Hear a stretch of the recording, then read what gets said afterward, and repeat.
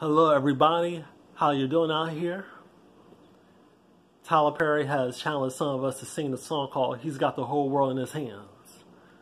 One thing we got in the scene is that yes, we are going through the pandemic of COVID nineteen or the coronavirus, and we have to isolate. But we need to be encouraged and know that God has everything under control, and God has the whole wide world in His hands. So I'm to do a medley of he got he's got the whole world in his hands and hold on to God's unchanging hand.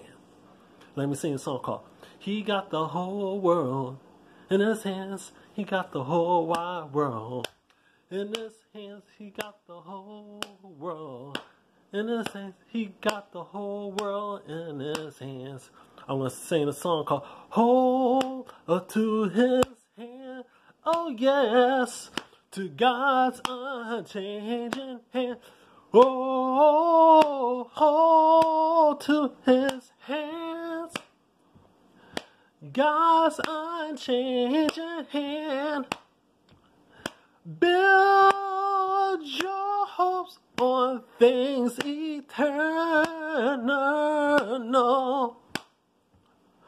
Hold God's unchanging hand.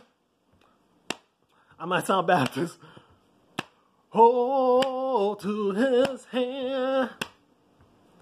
To God's unchanging hand. Oh, hold to his hand.